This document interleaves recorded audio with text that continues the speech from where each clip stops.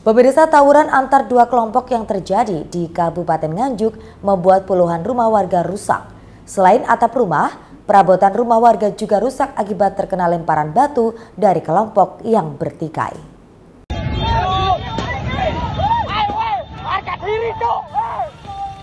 Tawuran antar dua kelompok pecah di Jalan Provinsi Desa Ngelundo, Kecamatan Sukomoro, Kabupaten Nganjuk. Kelompok yang bertikai ini saling lempar batu dan petasan. Sementara petugas kepolisian dan TNI yang ada di lokasi berusaha meredam pertikaian antar dua kelompok ini. Akibat kejadian ini, puluhan rumah di kawasan setempat rusak karena terkena lemparan batu dan petasan. Bahkan, batu yang dilempar sampai masuk ke dalam rumah warga dan merusak perabotan mereka. Warga mengaku resah dan takut akan terjadi aksi serupa Warga meminta agar aparat berwajib bisa mencegah dan melarang mobilisasi massa dalam jumlah besar karena berpotensi tawuran.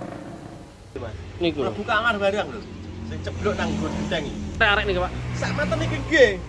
Padahal ratane wis dicor gede opo-opo. Kok enek watu sampai nang genteng sak mene-mene. Warga menambahkan peristiwa itu terjadi setelah sholat subuh pada hari Minggu. Salah satu kelompok dengan jumlah ribuan orang mengendarai motor dari arah barat ke timur. Sampai di depan Tugu Desa Ngelundo, sekelompok orang tersebut turun hingga terjadi saling lempar dengan kelompok lain, hingga menyebabkan rumah warga rusak. Beruntung tidak ada korban jiwa dalam peristiwa tersebut. Tim Liputan CTV Nganjuk